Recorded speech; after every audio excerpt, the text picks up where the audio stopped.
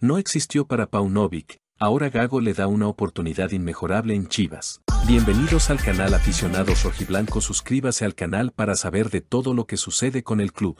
Chivas ha tenido una serie de adecuaciones bajo el mandato de Fernando Gago. Si bien el paso de Belko Paunovic llegó a cimentar grandes cosas, queda claro que se debe tomar el nuevo ciclo del rebaño como una continuidad a dicho proceso.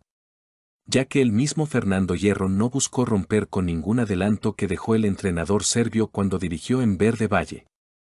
En ese sentido, existen diferencias en donde un jugador puede figurar con un DT y no precisamente con el otro. Por ende, hablaremos de un jugador que no existió para Paunovic, y que ahora Gago le da una oportunidad inmejorable en Chivas, Alejandro Organista. El jugador del Tapatío fue convocado para el duelo ante Mazatlán, según reportes de Rodrigo Camacho, por lo que se espera que el crack mexicano tenga minutos ante los cañoneros.